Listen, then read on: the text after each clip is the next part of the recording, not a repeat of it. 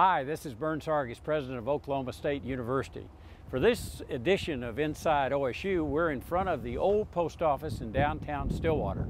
But now it's the new home to the Oklahoma State University Permanent Art Collection. Let's go inside. I think you'll be amazed. With me is Vicki Berry, who's the new director of the OSU Museum of Art, and uh, here from Utah. We're glad to have you. Thank you.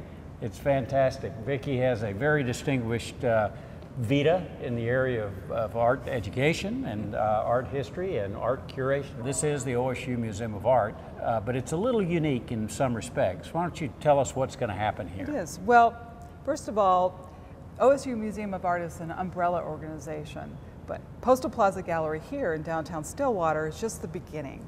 What we hope to do is branch out back on campus so that we can bring art to the students and make it part of their everyday life. This is really a very unique space, isn't it? It is. Basically what you do is you, you take out the interior structure and you find the bones. And so our architect, Rand Elliott and Associates, uh, ha they have, the firm has worked to very carefully orchestrate these spaces. Rand Elliott, of course, is an OSU architecture graduate and has done a marvelous job here. And he he preserves a lot of the building. Sometimes I ask him if he's going to put some sheetrock up, and he yeah. said, no, that would take right. away from.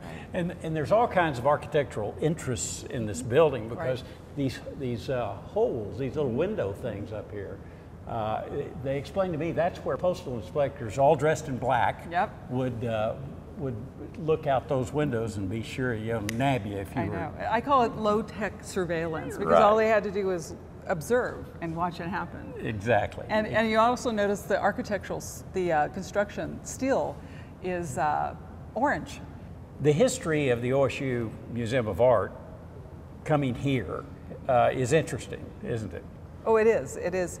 First of all, collections have started and generated over years, but they've been all over the campus, and people haven't really been aware as it's OSU's collection. Bill Goldston, who is one of our grads and is a, a very big deal in the art world in, in New York, uh, really gets credit for calling and shaming me into getting, getting going on a, on a museum, and then this building kind of fell in our lap. Right. And yeah. uh, so here we are. That's it. That's it. And what a great opportunity for us to create a unique experience for our students.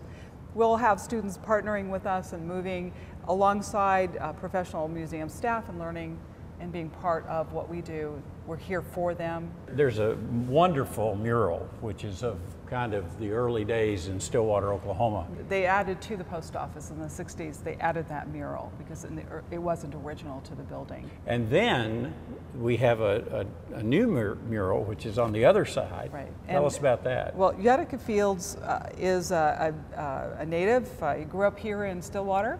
He's a, a member of the Osage Nation, and um, we thought what a wonderful way to commemorate this building and what it represents. We have a reasonably large permanent art collection at the university now that we've brought it all together. Right, now that we've done all the bean counting and found out what we yeah. have, um, somewhere in the in neighborhood of about 3,000 objects. Wow. Yeah. Well, how about you show us around a little bit? Okay, great. Well, okay. we're going to, let's head off to the Melinda Berry Fisher Gallery. Well, joining us is the new head of the art department at Oklahoma State University, Rebecca Brienen. Give us a brief history of uh, your background. Well, I come here from the University of Miami, and I was the head of the art um, the art program at the University of Miami for eight years. But I'm very excited to be here at OSU and uh, leading the program to developing more opportunities for our students. What does this new space, this new OSU Museum of Art do for the overall program and experience for the students? Well, I have to say that that's actually one of the selling points when I came out here. Um, when I was interviewing for the job, I was especially excited to hear that we were developing a museum, that we had a collection, and the collection um, actually now has a place to be hung. Do you envision having uh, a lot of students down here? The museum will have um, visiting exhibitions, and then we'll have student curated exhibitions when I'm teaching a class. I'll bring my students down here and we'll look at different techniques in terms of you know oil painting techniques or uh, printmaking techniques and we have really strong holding in those areas. And speaking of students, mm -hmm. I see we have a student here who's been helping a lot. Come, come on in here, Casey. Hi. Casey Pankey, right? Yes. From Tulsa, Oklahoma. Yes. And you're majoring in, Studio arts. and you are a senior. Yes, I am. Great. And you've been doing a lot of work down here. I have. I have been working with the museum since May. And You learned much?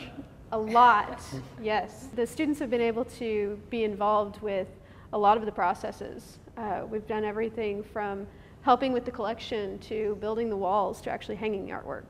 Well, it strikes me that this is not only a, a great asset for downtown Stillwater uh, and the kind of this new hip scene down here, and, and, and, uh, but it's also a tremendous enhancement of our art program for all of our students, not just art students. This museum is uh, obviously going to contribute to OSU beyond the art department, and certainly the shows and exhibitions and the kinds of hands-on learning that we'll be doing here will affect students throughout not just the College of Arts and Sciences, but the university as a whole. Casey, has this experience made you maybe want to get in the museum? uh, Absolutely. business? Yes, I would love to become a preparator. When will the public be able to come see all of Well, we have a special event October 10th from 4 to 6, an open house. We're in process, and we want to show that process and celebrate where we've come And then we're going to have another big gala in January? in January. Great. Where the full extent of our collection will be sampled and, and all the galleries will be finished. It takes a long time and it takes a village to raise a museum. I so we're going to invite the village in. Good deal, good deal. Well, this is very exciting, and everybody is, uh, is just on their edge of their seats to see what's going to happen here, and there's going to be a lot. So that's another edition of Inside OSU from the OSU Museum of Art. See you next time.